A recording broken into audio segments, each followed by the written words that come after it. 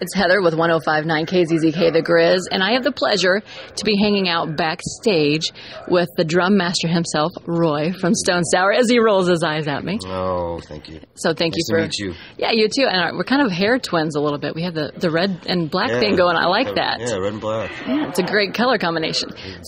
So you are, I mean, obviously you're known for your drums. What age did you start playing? When did you pick up those sticks and decide this is what you wanted to do? Mm, about five or six, something like that. Um, that'd be around the time when I saw Kiss on TV, and I was like, "That's it, I'm in."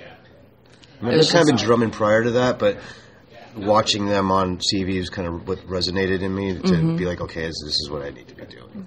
So you just had that internal, like, Yeah. this is it moment. So Yeah. Peter Criss, was he one of your inspirations then to yeah, do in the beginning, and then you know other drummers followed after that. you know. Right. So what style of music did you start playing? Have you always been in the metal genre or did you start something a little bit softer? No, I, was, I mean, I was mostly in, you know, as, as a seven-year-old, I was mostly into hard rock, you know, Kiss, Right. Sabbath, ACDC. Even before that, I grew up listening to more Motown and soul music that's what my, my mother and father used to listen to a lot.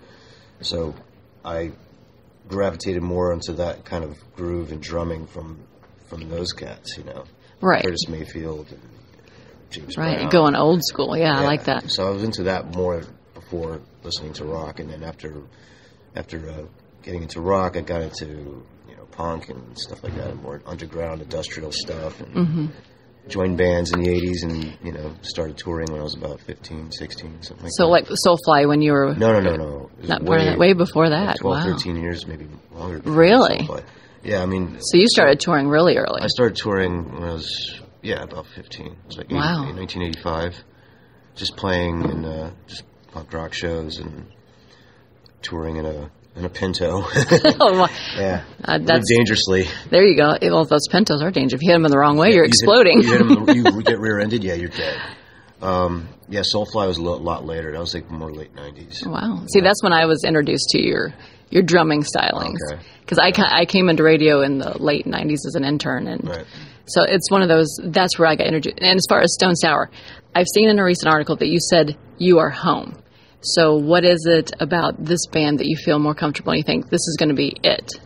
Well, it's it's everything I, I, I've wanted in a band. There's there's, there's camaraderie, and I'm I'm able to um, express myself as a as a drummer musician in this band as opposed you know to you know before or whatever. I mean, I could in every band I've been part of, but this band is really special to me because I I just I just love the love what I do in this band. You know, I love what I've done in every band I've been in, but I I, I love this more. Do you get more artistic freedom yeah, a, a lot more. Yeah. to kind of do your own thing? Because a lot of times people can feel confined, but you feel like you can express yourself. Yeah. And, good. Yeah, Now, I'm going to bring this up because it was in all of the trades and everything.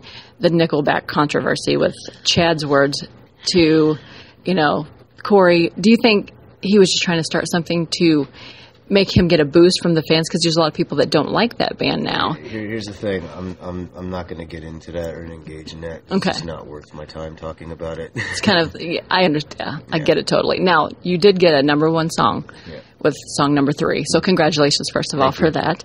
Now, this album is. It's putting you guys out there because a lot of people thought, oh, Stone Sour is kind of a side project. This, to me, shows that you guys are for real. Do you think this is going to have the staying power to shut those critics up? I hope so.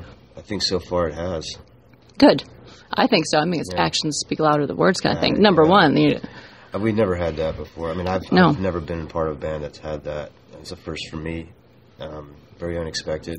Um, yeah, I'm, I'm really overwhelmed by it. It's Good. It's a hell of a, an achievement. You know. I'm, Absolutely. I'm- I thank everyone for making that happen. No So, problem. Yeah, we play the hell out of it, just so you know. You. Now, as far as you, um, it's kind of an off the wall question, but guilty pleasure. If you're by yourself, no one's around, is there something that you like to, to rock out to or just kind of relax? And it's something not necessarily you'd want people to know, but it's something that makes you comfortable. You know, I don't have a guilty pleasure with any kind of music or anything. I love all music. It could be country, it could be disco, Mm-hmm. it could be classical. I love everything. So there's to me that that doesn't guilty pleasure phrase doesn't doesn't really attach to that. So So it's not like a closeted thing. You like No. pretty much anything. I'll listen to ABBA. Hey, don't we? They're in my iPod. I I'm listen not to going Curtis. Mayfield, like you, like mm-hmm. I say. You know what I mean? I mm-hmm. don't sit home and listen to just the kind of music that I do, I mean, of course I do. I throw on Kiss or Right.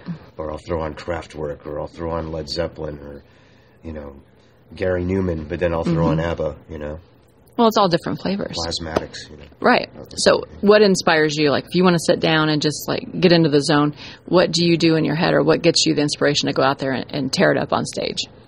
Mm. I don't know, it's just more just an internal passion. Like I've, I've always had the passion to play. I love doing what I do. I haven't been out on the road for three years, so there's that drive behind me. It's just I Right. just want to go do it. You know, I get I still get the nervous uh, butterflies in the stomach before I play every day still. So that's good. Do you have a pre-show ritual you do in your head to kind of get yourself comfortable? No, I just kind of shut off. And normally, as a band, we'll we'll, we'll practice the set, like run through the set before we play. It's something we just started doing.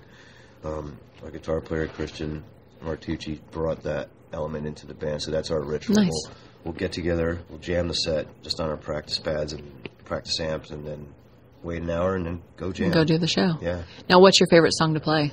Right now, Mhm. I really love playing song three. Do you? It's a fun song to play. I love hearing it. It's just a, it's just punch, man. You know, that and Fabuless. I love playing that. We just started playing Blotter again, which is the first album. Right. Get Inside together. I always love playing those. We hadn't played those in a long time, so I think those are starting to be my new favorite again to play. Live. And like, what's old you make new again? Because there's people that maybe didn't know you guys before, and now that you've hit the register and hit their radar, now they're going to go back and enjoy those. we got a pretty cool set now. I mean, we're, we're we're playing off of every a couple songs off of every record, which is kind of cool. Nice. Yeah. I can't wait to see it. I thank you very much for your time. All right. Thank you. Thank you.